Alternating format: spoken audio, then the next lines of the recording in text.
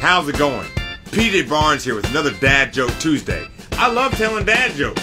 Sometimes he even laughs.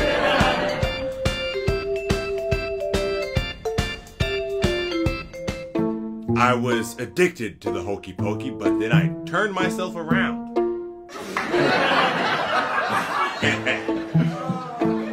the other day I told my friend that she drew her eyebrows on too high.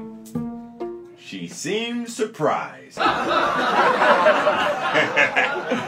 the other day my son asked me, Hey dad, can I watch TV? I said, Yeah, just don't turn it on.